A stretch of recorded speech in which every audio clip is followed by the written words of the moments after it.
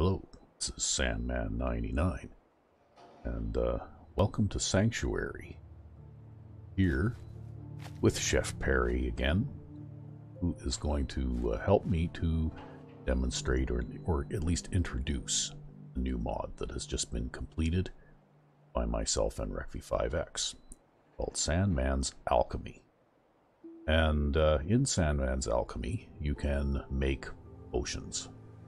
And of course, you can make them at the chemistry station. However, you can't just walk up to any chemistry station at any time and make potions. The uh, uh, category just doesn't appear.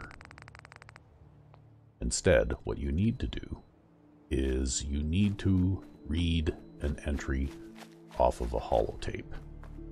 And it seems that a certain uh, chem dealer back before the bombs had an old book it locked away in a safe.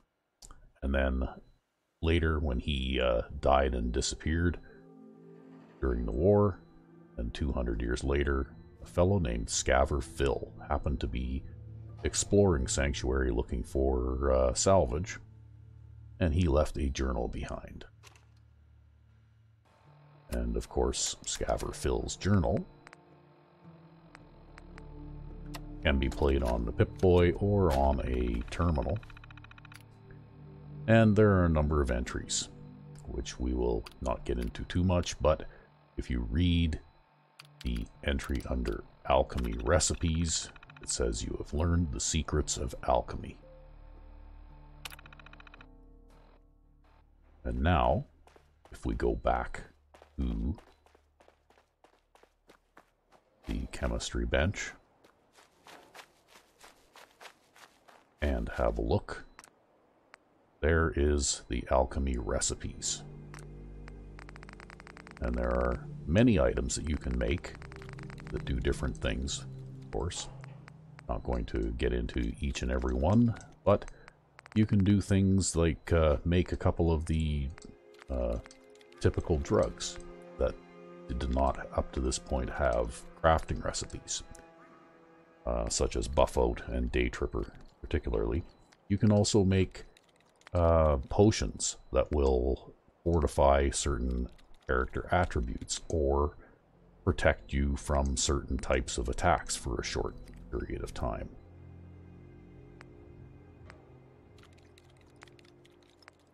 Okay, and uh, or fortify certain special attributes for a short period of time.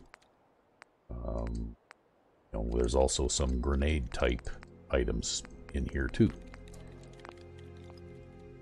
And so, for a new beginning character, you just wander into the old chem dealer's house here and you find the holotape. However, for those who uh, have already been playing the game for a while, and they may not necessarily be in Sanctuary, and they may not actually um, be anywhere near Sanctuary at the time when they first installed this mod. I came up with a little bit of a cheat for this. And uh, we'll kind of get into that now. Because if you look under utility section, chemistry workbench, well, you can actually make holotape. Scaver Phil's journal. Requires one plastic.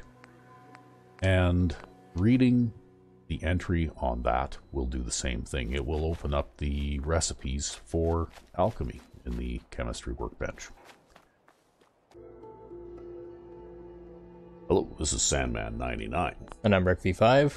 Yes, and RecV5 has agreed to help me to demonstrate a little bit of a mod that I'm currently working on called Sandman's Alchemy. And the idea of this is that I wanted to create a bunch of recipes for potions. Mm-hmm. And one of the potions that I've created a recipe for is a potion of armor, which increases your damage resistance for a few minutes. Nice. In the game. It's a temporary effect, and you do need some perks in uh, Chemist in order to make this, as well as a number of ingredients, Yeah. specific ingredients. But anyway, just to demonstrate it, I'm going to step out here and I'm going to let this raider shoot me right now without the potion. Uh, my character, by the way, Chef Perry here. uh, I, I didn't. I don't have the ability to actually make a chef's smock, but I decided that the uh, uh, lovely uh, Institute lab coat looks kind of like a chef's smock, Yep. and of course he's wearing a chef's hat. But uh, anyway, um, Chef Perry here is going to step out into the open and get shot by this raider that's hiding in this little shack up on top of that trailer, All right. just to see how much damage that raider can do to me uh, with my current ballistic re- resistance of 445. Okay. And this is on we go. survival difficulty. No, this is on very hard. Oh, okay, this one's on very hard. So, okay, waiting. One, two, three. Okay, so I just got shot three times. Yep. Okay, so we'll get back under cover here and we'll have a look. And for some reason, I don't know why, but you can never have full hit points in this game. You always end up with one short. So I started off with 397, Mm-hmm. and those three shots took me down to 368. Yep. So 29 points of damage from uh, my unarmored, or, or basically without the potion Yep. type armor. So we're gonna do a quick stim pack here, Oh, okay. right? I can't believe how fast impacts work when you're not playing on survival. I, I almost never play not on survival, so um, Well, you're not thirsty either. Yeah. Well, Chef Perry though is basically here to demonstrate. Like he, I'm using him to test a Yeah. lot of the mods that I'm working on. And Yep. Yep. Survival has a lot of rules and stuff in place that make it very difficult to do some of the things I need to do in order to test things. Yep. So anyway, we're gonna go and we're gonna take our potion of armor now, and our potion of armor boosts our uh, ballistic resistance from 445 to 1445. Yep. But this doesn't reduce the damage as much as you would think. So we'll step back out here now and we'll let Mr. Raider here, wherever he is. There he is. Okay, come on. He can't even, they, they, they, they aren't very accurate. One, two, One more. Come on. he's got to reload or something now.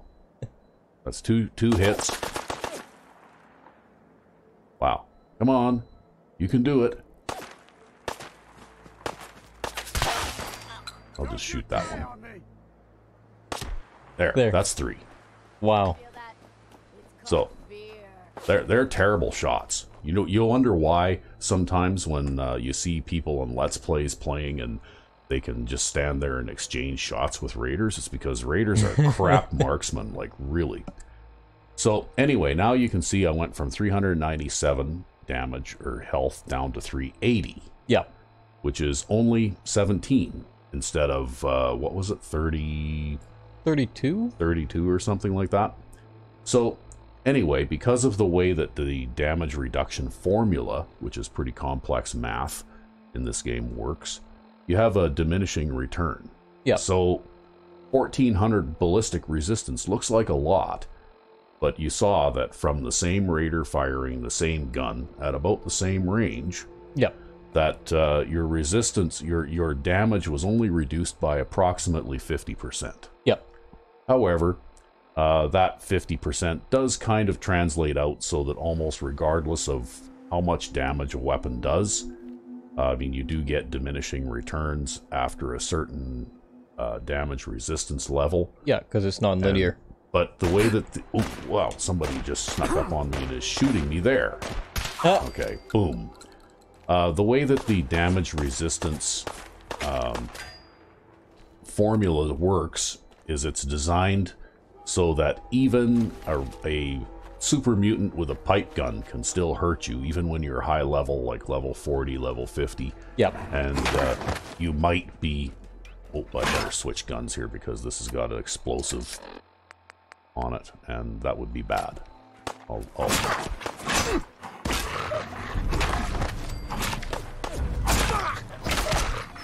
But anyway, attack dogs do a lot of damage, and you'll notice that he did manage to do some damage to me, but that damage would have been considerably worse without the potion. Yep. And the potion has a duration of 8 minutes. So, 8 playing time minutes, and then the potion will wear off. But anyway, so that's kind of, uh, I, I was kind of distracted here by being continuously attacked by these guys. But anyway, damaging damage resistance gives diminishing returns. And so you're at around a thousand damage resistance, you're going to get about a 50% damage reduction against most types of weapons, except Yep. for the very weakest ones. So a pipe gun with a base damage of 13, um, I, according to the table, you'll get like a 80 or 85% damage reduction. But uh, a stronger weapon like um, an assault rifle or or a combat rifle or something like that, your damage resistance is more like about 50%. Yeah, it gets uh, less and less the more damage they do. Yeah, and it stays at about 50% as the damage levels go up. Um, you know, so so really that's how uh, damage resistance works. I mean, you you you equip a set of uh, you know like top tier X01 Mark 3 or whatever it is power armor, you can get your damage resistance to top out at somewhat over 2000. Yep. And what that does is basically it reduces your damage incoming by around 40 or 50% against most of the more powerful weapons in the game. And uh, anything, More effective against weaker stuff, but uh, yeah, more effective against weaker weapons, but the way the formula works, that's why it can still hurt even to be shot by a super mutant with a pipe gun yep. because also that damage resistance, resistance table does not take into account any skill perks or other abilities that might also affect the damage of a weapon. Such as the additional damage taken on survival. Yes, the additional damage taken on survival because uh, you get a incoming damage is multiplied, I think, by four times or something like that. So, anyway, but it is still helpful, and I wanted to uh, make uh, a bit of an alchemy um, thing so that you could do uh, potions that will protect you against things like ballistic damage, energy damage, fire, frost. Um, you know, I'm working on a few grenade type weapons as well for this mod, Yep. which I will demonstrate later. Today, we're going to test the potion of protection from radiation. So, we're in an area where there's lots of uh, radioactive barrels, and we're going to walk Chef Perry right into the middle of that before taking the potion, just to see what the radiation damage tops out at. And it looks like, in right in here, just about right in this shipping container, the damage tops out at plus 9 rads per second. So, get back out, out of range again. And now we'll go into Chef Perry's inventory. And we will down the resist radiation potion, which gives us 1000 radiation resistance. Which seems like a lot, but it doesn't have as nearly a dramatic effect as you might think. But it still does reduce damage by a little over 50%. So we went from a top damage of plus 9 to a top damage of plus 4 while being protected by the potion of protection from radiation. So it's certainly not a proof against radiation, but it definitely does help. This, by the way, is quite a high radiation area for anything outside of the glowing sea. I'm going to do another little demo on the mod Sandman's Alchemy. And I know mainly I've been uh, demoing these with Chef Perry, but unfortunately he does not have the perks necessary to make some of the things I want to demonstrate in this video. Namely, uh, grenade type weapons. So alchemy fire bomb, freeze bomb, nuclear bomb, plasma bomb, shock bomb. So these are things that you need high levels of uh, chemist and other perks, depending on what type of grenade you're making. And uh, these actually all behave just like uh, Molotov cocktails, basically. So it helps if you have a character who has the explosive perk to give you a throwing arc so you don't accidentally blow yourself up. Because these do not behave like grenades. You can't bank them off walls and that kind of thing. They uh, explode on contact, just like a Molotov cocktail does. And uh, the first one is the Alchemy Fire Bomb. And uh, of course, they are affected by your explosive perk as well, so they will do more damage if you spend a few uh, perk points in Explosive Expert. And that's why this one shows a fair amount of damage here, but it is a more, basically a more powerful um, Molotov cocktail. And it takes different uh, crafting items and more crafting items or, or components to make one. Anyway, when we uh, throw our alchemy firebomb, we get a throwing arc and we throw it. It looks very much like a uh, Molotov cocktail explosion, even with a little bit of lingering flame. So next, though, we will throw the freeze bomb, Whoops, just fell off the back of the thing here. That's okay. Maybe we'll go out here and throw the freeze bomb. And it looks kind of like a cryo grenade and has uh, a number of effects. Now we'll throw the shock bomb, which does shock damage, not not energy damage, but shock damage.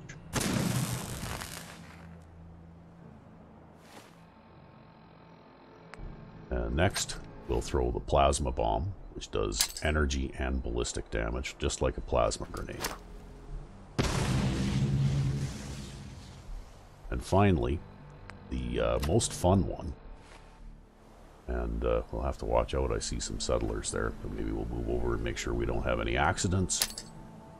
And here we go. This is the nuclear alchemy bomb.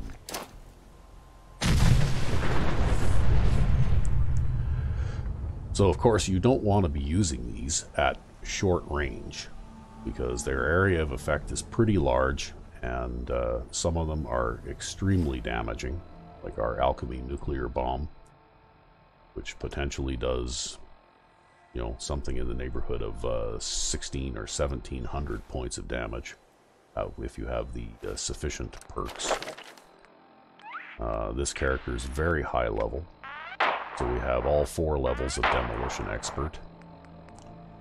And uh, in order to make these, we have level 4 Chemist, we have level 3 Nuclear Physicist, and we have level 4 Science and it is a combination of those different perks that you need in order to be able to make a lot of these alchemy bombs, which can be made on the uh, regular chem workstation bench, just like the protective potions that uh, Chef Perry has been demonstrating.